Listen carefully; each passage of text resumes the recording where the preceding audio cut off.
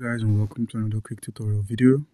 And in this quick tutorial video i'm going to be showing you how you can reduce your gas fees on pancakeswap our first step being that you open up trust wallet and head over to the browser section at the bottom of the screen.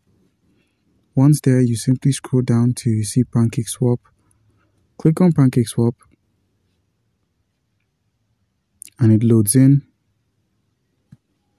Make sure your wallet is connected by clicking on this wallet icon here. If it shows disconnect, it means your wallet is already connected, so that's good. So for today's video, we're going to be swapping um, Meta War, or let's go with um, let's go with the refinable token. So now we're going to be reducing the gas fees for the refinable token. So let's say we were to use 25%, that's 0.75 USD. And that's equivalent to 203 of the refinable token.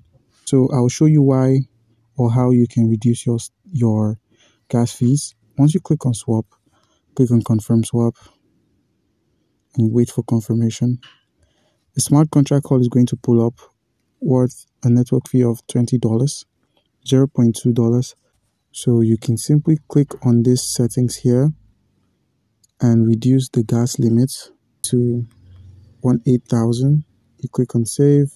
As you can see, it's reduced again to um, 18 cents.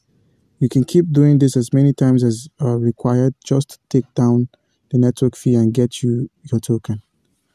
Alright guys, comment down below if you have any questions concerning how you can reduce gas fees on PancakeSwap and you'll be given an answer.